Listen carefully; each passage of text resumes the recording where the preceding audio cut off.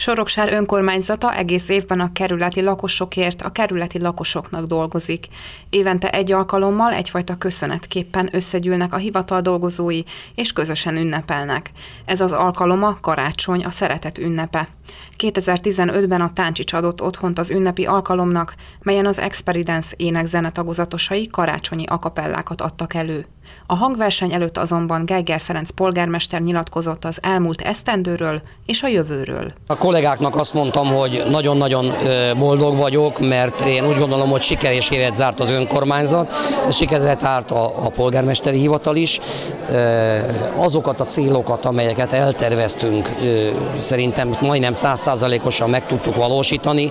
Persze természetesen gondok, problémák mindig adottak, de hát az élet ilyen, van egy kínai közmondás, hogy a rossz dolgok a jó dolgokért nagyon sokat kell tenni, a rossz dolgok meg maguktól jönnek így is, úgy is, hát ezeket le kell küzdeni. Én úgy gondolom, hogy hogyha ezt a folyamatot tudjuk folytatni a következő években, legyen ez beruházás, legyen üzemeltetés, működés, akkor az önkormányzat nagyon jó halad afelé, hogy Budapest egyik legjobb és legjobban működő önkormányzata legyen.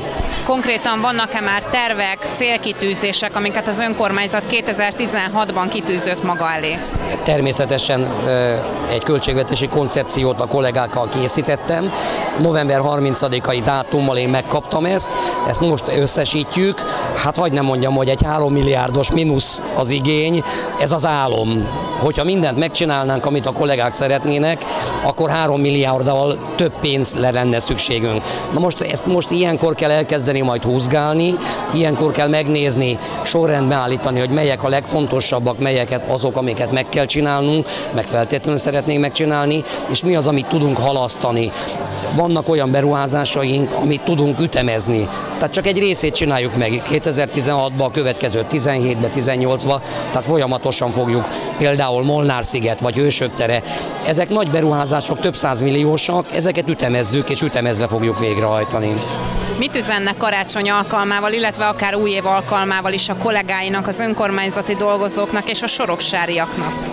Hát én nagyon szépen köszönöm egyrészt a hivatali kollégáknak és az intézményben dolgozó kollégáknak az együttműködést. Tudom, hogy nagyon nehéz körülmények között dolgoznak néha, de ez szükség van erre. Mi szolgálatot vállaltunk, és ezzel a szolgálatnak a teljesítésével tudjuk a lakosságot szolgálni. E, és hogyha ez működik, akkor nagyon jó dolog fog e, kialakulni. Soroksár lakóinak pedig e, remélem, hogy, hogy egy békés, boldog karácsonyi ünnepben lesz részük, és egy sokkal gazdagabb, anyagiakban is sokkal gazdagabb új esztendőre fognak majd nézni.